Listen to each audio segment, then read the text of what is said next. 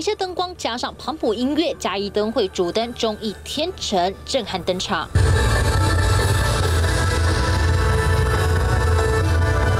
结合科技与传统民俗文化，主灯总高约二十一公尺，以原住民孩童的笑颜为出发，采用四 D 光学折射技术，展现一千两百万以上的光彩。